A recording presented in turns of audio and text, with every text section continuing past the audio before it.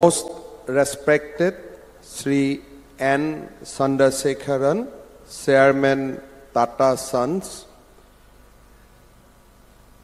Dr. Randhir Kapoor, Managing Director and CEO, Tata Electronics, Sri Ranjit Borthakur, Founder and Chairman, Globally Managed Services of India, Dr. Saran Gurumurti, Business Head, Tata Semiconductor Assembly and Test, মোৰ সতীৰ্থ মন্ত্ৰী বিমল বৰা ডাঙৰীয়া পীযুষ হাজৰিকা ডাঙৰীয়া নন্দিতা গাৰ্লোচা ডাঙৰীয়ানী সঞ্জয় কিষাণ ডাঙৰীয়া U G ব্ৰহ্ম ডাঙৰীয়া যোগেন মহান ডাঙৰীয়া প্ৰশান্ত ফুকন ডাঙৰীয়া তুলিৰাম ৰংহাং ডাঙৰীয়া জিতু গোস্বামী ডাঙৰীয়া ৰূপক শৰ্মা ডাঙৰীয়া শশীকান্ত দাস ডাঙৰীয়া বিজয় মালাকাৰ ডাঙৰীয়া কমলাক্ষ দে পুৰকায়স্থ ডাঙৰীয়া ৰমাকান্ত দেউৰী ডাঙৰীয়া অসম চৰকাৰৰ মুখ্য সচিব ডক্টৰ ৰবি কোটা ডাঙৰীয়া আজিৰ সভাত উপস্থিত ৰাইজ আই মাতৃসকল আৰু সন্মানীয় সুধীবৃন্দ। অসমৰ ঔদ্যোগিক বিকাশৰ দিশত আজিৰ দিনটো এক মাইলৰ খুঁটা হৈ ৰ'ব। যোৱা তেৰ মাৰ্চ দুহেজাৰ চৌব্বিছ তাৰিখে ভাৰতৰ মাননীয় প্ৰধানমন্ত্ৰী শ্ৰী নৰেন্দ্ৰ মোদী ডাঙৰীয়াই সাতাইছ হাজাৰ কোটি টকা বিনিয়োগেৰে জাগিৰোডত স্থাপন কৰিবলগীয়া দেশৰ প্ৰথমটো semiconductor assembly test marketing and packaging যাক চমুকৈ A T M P unit বুলি কোৱা হয় তাৰ শিলান্যাস কৰিছিল। আজি টাটা চন্সৰ অধ্যক্ষ আৰু managing director Shri N Chandrasekaran ডাঙৰীয়াই এই উদ্যোগটোৰ ভূমি পূজন সমাপন কৰিলে। আৰু আমি সকলোৱে ইয়াৰ সাক্ষী হৈ থকাৰ বাবে সুযোগ পালোঁ। মই আজিৰ এই দিনটোত অসমবাসী ৰাইজৰ হৈ কৃতজ্ঞ অসমবাসীৰ হৈ পুনৰ এবাৰ প্ৰধানমন্ত্ৰী নৰেন্দ্ৰ মোদী ডাঙৰীয়াক অসমৰ জাগিৰোডত এই উদ্যোগটো স্থাপন কৰিবলৈ তেখেতে যি আশীৰ্বাদ জনালে তাৰ বাবে কৃতজ্ঞ অসমবাসী ৰাইজৰ হৈ মই অভিনন্দন জনাইছোঁ। টাটা গ্ৰুপ অসমবাসী ৰাইজৰ বাবে নতুন নহয়। টাটা গ্ৰুপৰ অসমৰ চাহ শিল্পৰ লগত দুশ বছৰীয়া অটুট সম্পৰ্ক আছিল আৰু আজিও সেই সম্পৰ্ক অটুট আছে।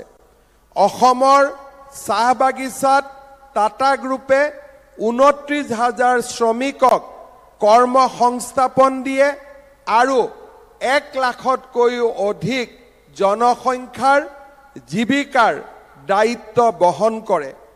ইয়াৰ উপৰিও বিগত দিনত টাটা গ্ৰুপৰ সহযোগত ৰাজ্য চৰকাৰে কেঞ্চাৰ চিকিৎসাৰ এক নতুন ধাৰণা আমাৰ ৰাজ্যখনত স্থাপন কৰিবলৈ সক্ষম হৈছিল।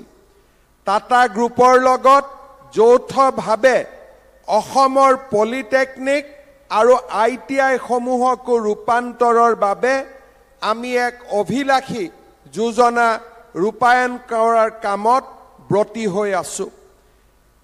ৰাজ্যখনত সন্ত্ৰাসবাদ আৰু আমি দেখি অহা বিভীষিকাৰ পৰিস্থিতি সমাপ্ত হোৱাৰ পিছত আমাৰ ৰাজ্যখনক এক উদ্যোগিক বিপ্লৱৰ প্ৰয়োজনীয়তা আছিল। কিন্তু অসমৰ পটভূমিৰ বাবে পৃষ্ঠভূমিৰ বাবে ব্যক্তিগত খণ্ডৰ কোনো কোম্পানীয়ে অসমত বৃহৎ বিনিয়োগৰ বাবে আগবাঢ়ি অহা নাছিল। মোৰ আজিও মনত পৰে মই অসমৰ মুখ্যমন্ত্ৰীৰ দায়িত্ব লোৱাৰ পিছত ভাৰতৰ অৱসৰপ্ৰাপ্ত মুখ্য ন্যায়াধীশ ৰঞ্জন গগৈ ডাঙৰীয়াক সাক্ষাৎ কৰিব গৈছিলোঁ।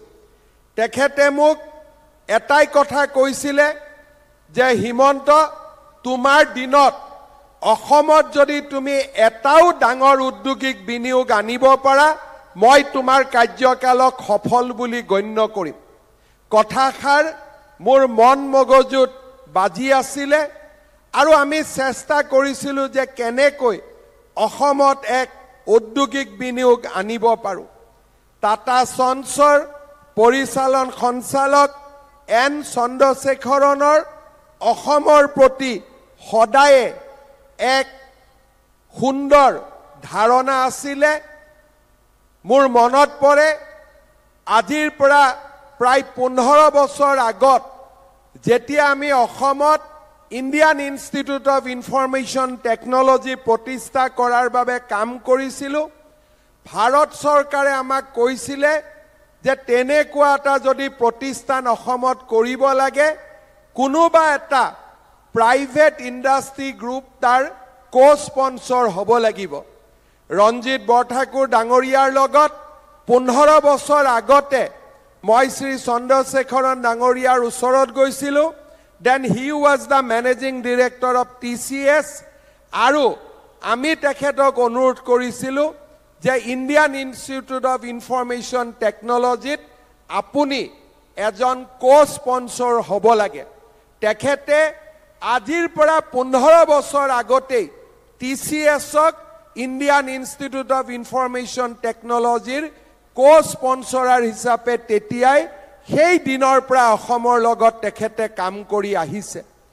যেতিয়া ছেমি কণ্ডাক্টৰ ইণ্ডাষ্ট্ৰীৰ ধাৰণা প্ৰধানমন্ত্ৰী নৰেন্দ্ৰ মোদী ডাঙৰীয়াই অৱতাৰণা কৰিলে মুম্বাইত গৈ শ্ৰী চন্দ্ৰশেখৰণ ডাঙৰীয়াক আমি সাক্ষাৎ কৰিছিলোঁ আৰু মই তেখেতক কৈছিলোঁ যে অসমৰ উদ্যোগীকৰণৰ বিপ্লৱ যদি টাটা গ্ৰুপে আৰম্ভ নকৰে আন কোনোৱেই সেই দায়িত্ব নল'ব।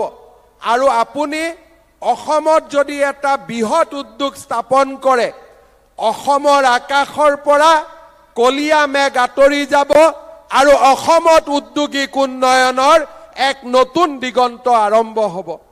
তেখেতে অতি সৰ হৃদয়তাৰে সৈতে মোক কৈছিলে যে যদিহে ভাৰত চৰকাৰে মোক সমৰ্থন কৰে এই সাতাইছ হাজাৰ কোটি টকাৰ উদ্যোগ মই অসমত স্থাপন কৰিবলৈ আগ্ৰহী।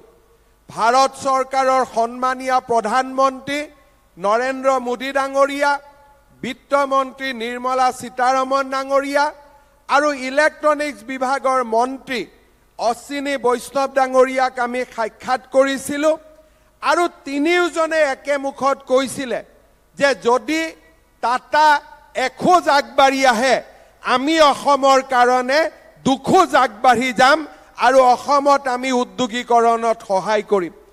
আজি মই অত্যন্ত গৌৰৱেৰে সৈতে আপোনালোকৰ মাজত থিয় হৈ মই এই আটাইবোৰ ব্যক্তিক মোৰ অন্তৰৰ গভীৰতম কোণৰ পৰা কৃতজ্ঞতা যাচিছোঁ। সাতাইছ হাজাৰ কোটি টকাৰ উদ্যোগ সাতাইছ হাজাৰ আমাৰ ইয়াতে বিনিয়োগ কিন্তু মই বিশ্বাস কৰোঁ টাটা ছেমি কণ্ডাক্টৰৰ আমি যদি এটা সফল ইতিহাস ৰচনা কৰিব পাৰোঁ অসমৰ ভাগ্যৰ পৰিৱৰ্তন হ'ব। অসম দেশৰ ভিতৰতে এখন উদ্যোগিক প্ৰধান ৰাজ্য হিচাপে পৰিগণিত হ'ব। নিবনুৱাৰ কৰ্মসংস্থাপন ৰাজ্যৰ চৰকাৰে নিজৰ কৰ্ম নিজৰ কৰ্মক্ষেত্ৰত নিয়োগ কৰি সমাধান কৰিব নোৱাৰে। বাৰ লাখ নিবনুৱাই যেতিয়া তৃতীয় শ্ৰেণীৰ চৰকাৰী চাকৰিৰ কাৰণে পৰীক্ষা দিব ওলাই আহে তেতিয়া আমি অনুভৱ কৰিব পাৰোঁ যে অসমত উদ্যোগীকৰণৰ কিমান প্ৰয়োজনীয়তা আছে। মই আজি আশা কৰোঁ যে আমি ফিউচাৰ ইণ্ডাষ্ট্ৰিজৰ যি এক নতুন ৰূপৰেখা অসমত স্থাপন কৰিবলৈ আগবাঢ়িছোঁ ই অসমৰ ইতিহাসৰ এক নতুন মাইলৰ খুঁটা হৈ ৰৈ যাব। টাটা ছেমি কণ্ডাক্টৰৰ যেতিয়া আৰম্ভণি হৈছিলে তেতিয়া বহুতে প্ৰশ্ন কৰিছিলে যে এই ছেমি কণ্ডাক্টৰ ইণ্ডাষ্ট্ৰীত থলুৱা যুৱক যুৱতীয়ে কাম কৰিব পাৰিবনে নাই? কাৰণ এনেকুৱা ধৰণৰ ইণ্ডাষ্ট্ৰীৰ লগত অসমৰ পৰিচয় নাই। আৰু আমি এনে কামত সফল হ'ব পাৰিম নে নাই?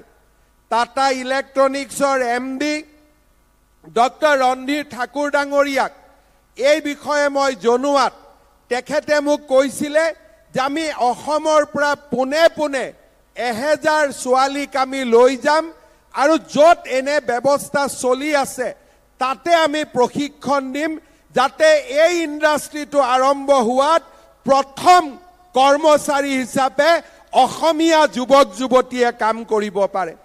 আজি আপোনালোকে আমাৰ সৰু ফিল্মটোত দেখিছিলে যে যিমান ছোৱালীয়ে ৱেলকাম টাটা টু আছাম বুলি কৈছে তেওঁলোকে হুচুৰত কাম কৰি আছে আৰু গোটেই কেইজনী অসমীয়া ছোৱালী আৰু যিদিনাখন এই জাগিৰোডত এই উদ্যোগ হ'ব তেওঁলোক অসমলৈ উভতি আহিব আৰু অসমক কৰ্ম উদ্যমিত এক নতুন যুৱ শক্তিৰ সৃষ্টিত তেওঁলোকে প্ৰেৰণাৰ স্ৰোত হিচাপে কাম কৰিব।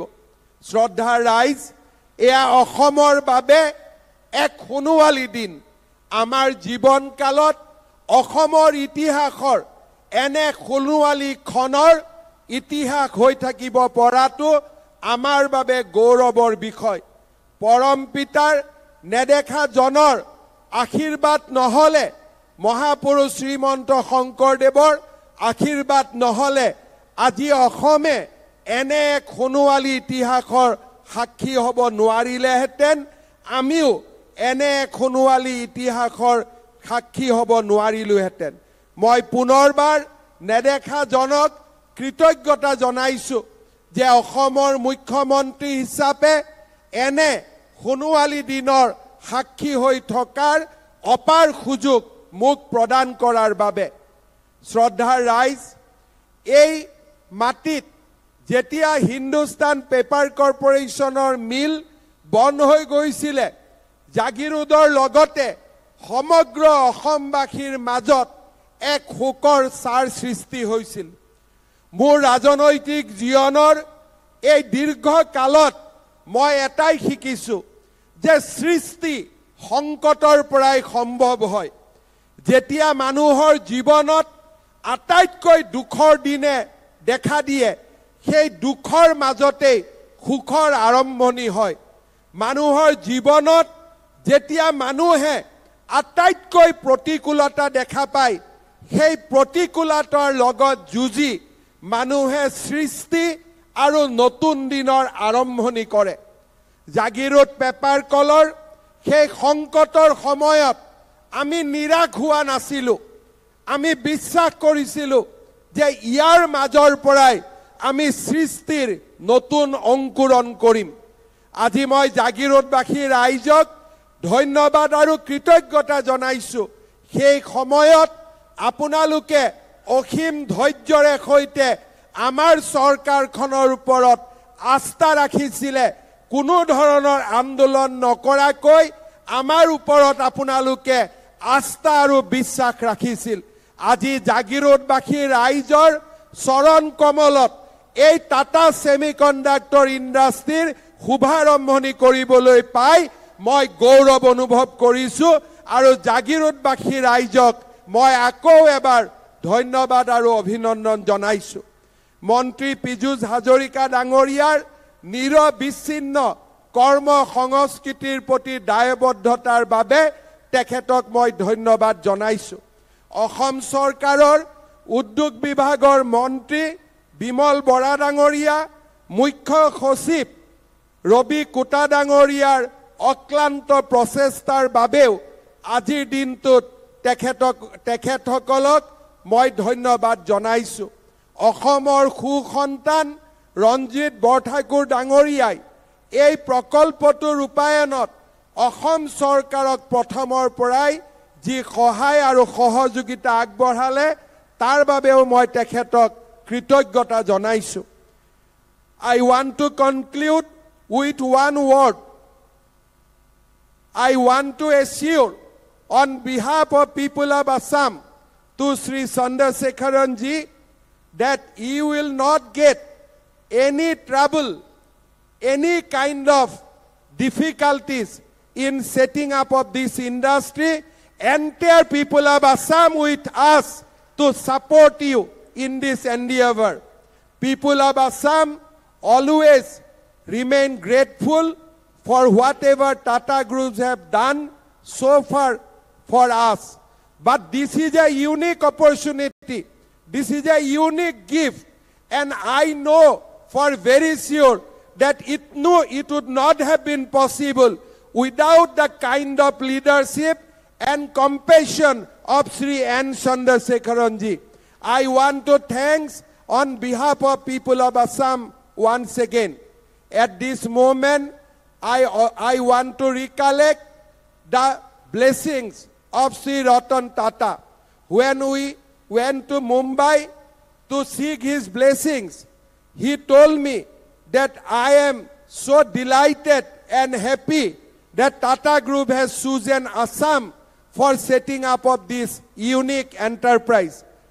শ্ৰদ্ধা ৰাইজ এটা কথাৰে মই সামৰণি মাৰিম টাটা গ্ৰুপৰ সমগ্ৰ দেশতেই এক বিশাল সাম্ৰাজ্য আছে দেশৰ বাহিৰতো লণ্ডনত টাটা কোম্পেনীয়ে মটৰ গাড়ী নিৰ্মাণ কৰে। যোৱাকালি মই ঝাৰখণ্ডত আছিলোঁ। জামছেদপুৰত টাটাৰ যি নগৰ তাক নেদেখিলে কোনেও বিশ্বাস কৰিব নোৱাৰে। মাটিৰ অভাৱ নাছিল। অকল তাতেই মই দেখি আহিছিলোঁ। সাত হাজাৰ হেক্টৰ মাটি টাটা গ্ৰুপৰ লগত আছে। এই উদ্যোগ স্থাপন কৰাৰ বাবে ভাৰতৰ বিভিন্ন চুকে কোণে গৈ যিকোনো প্ৰদেশত টাটা গ্ৰুপে এই ইণ্ডাষ্ট্ৰী স্থাপন কৰিব পাৰিলেহেঁতেন। তেওঁলোকৰ বাবে সুযোগ আৰু সুবিধাৰ অভাৱ নাছিল। অসম চৰকাৰে যিখিনি সহযোগিতা কৰিছে তাতকৈ দুগুণ সহযোগিতা কৰিব পৰা ভাৰতৰ আন বহুতো ৰাজ্য আজিও অগ্ৰণী ভূমিকা লৈ আছে।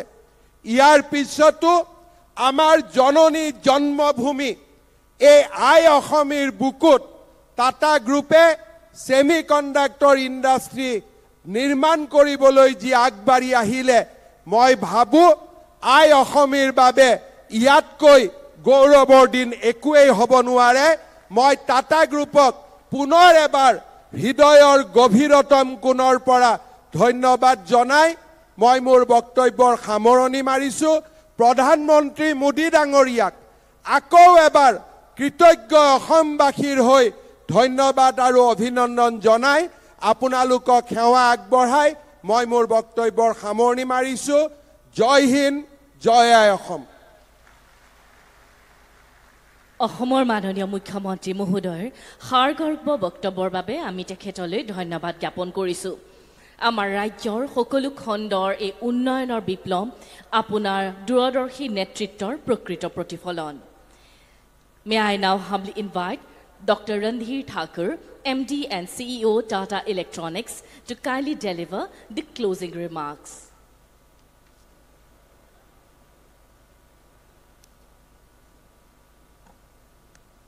Good afternoon and namaskar. You know, I don't understand Assamese language, but after listening to Honorable Chief Minister speaking straight from his heart, I feel like I must learn this language. We thank you, sir. Thank you very much. Honorable Chief Minister of Assam, Dr. Himanta Biswa Sharma, Honorable Ministers and dignitaries from the Government of Assam, Dr. Ravi Kota and distinguished guests present on the dais today, other dignitaries from Assam, partners, my colleagues from the Tata Group. On behalf of the Tata Electronics team, many of them are here today, we are thankful to your presence in Jagi Road on this auspicious occasion, where Tata Electronics is setting up a state-of-the-art semiconductor chip packaging facility. Today, we are blessed by the divine presence of gurus, pandits, and pujaris, I offer my deepest respect and reverence to you. I want to also thank Honorable Prime Minister, Honorable Ashwini Vaishnavji, uh, Chief Secretary uh, Mr. Krishnan, Akash Tripathi of ISM CEO, uh, for their support to, in the early days, to really make this project possible and make Tata Electronics part of this journey. This journey started with the conviction of one man. This journey started with the conviction of one man, our chairman, Mr. N. Chandrasekharan. His courage to envision Tata Electronics, his determination to choose Assam as the location, and his passion to not only build a business, but also transform communities is truly inspirational. This demonstrates his commitment towards the Tata value of pioneering new industries that has been the hallmark of Tata for generations. Thank you, Chairman. To make this dream possible, our chairman had a willing, visionary, and bold partner in Honorable Chief Minister Dr. Sharma. Since the initial discussion more than a year ago, Honorable Chief Minister has championed this project relentlessly in Delhi or in Guwahati or to anybody who can contribute to this cause. These two gentlemen have left no stone unturned to bring this factory to Jagi Road, Assam.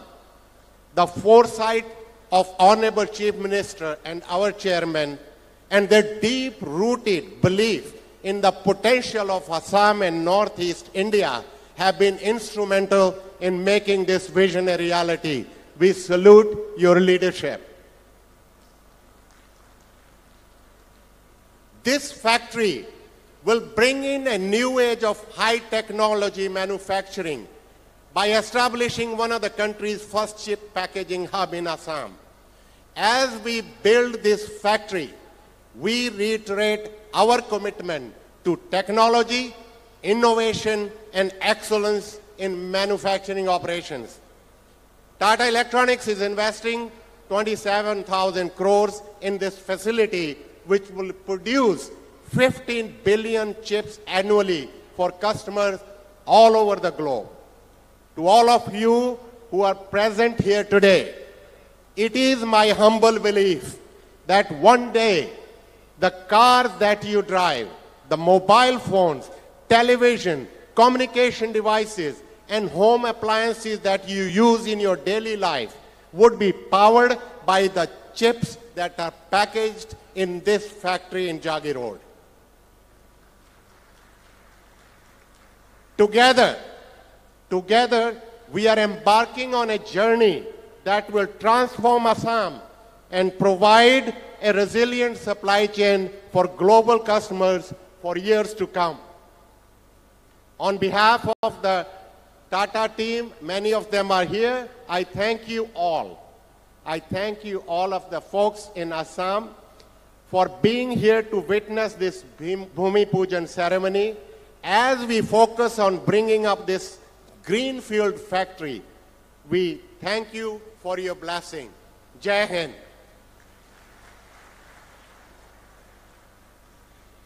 Thank you, sir, for expressing your gratitude for the partnership and the continued association for the years to come. পৰম শ্ৰদ্ধাৰ সুধীবৃন্দ আমি আজিৰ এই ঐতিহাসিক অনুষ্ঠানটিৰ অন্তিম পৰ্যায়ত আহি উপনীত হৈছোহি উপস্থিত সমূহ সুধীবৃন্দক ধন্যবাদ জ্ঞাপন কৰি ৰাষ্ট্ৰীয় সংগীতেৰে আমি অনুষ্ঠান সামৰিবলৈ লৈছোঁ Kylie rise for the national anthem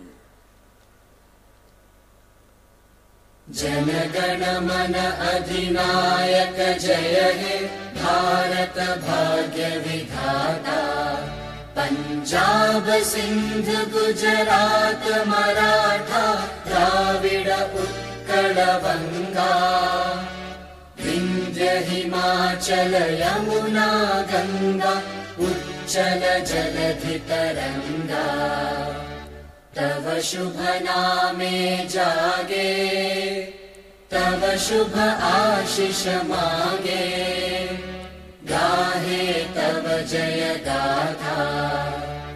जनगण मङ्गलदायक जय हे भारत भाग्य विधाता जय हे जय हे जय हे। जय जय जय जय हे